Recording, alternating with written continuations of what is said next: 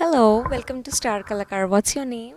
Ashka Das Gupta, Okay, so what's your registration number? um, 1181. 1181 or 1811? so, what are you going to perform today? I'm gonna perform a song based on Rag Bhupali. Okay, so is it classical? Okay, so f- uh, from are you learning classical? Yeah. Okay, from what age are you learning? I think around 5. Around five. So, who is your guru?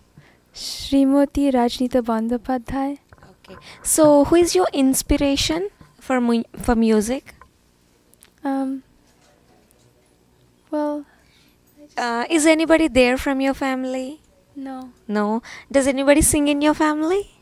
No. So you're the first rock star from your family, right? Good. so all the very best for your perf- performance. Thank you.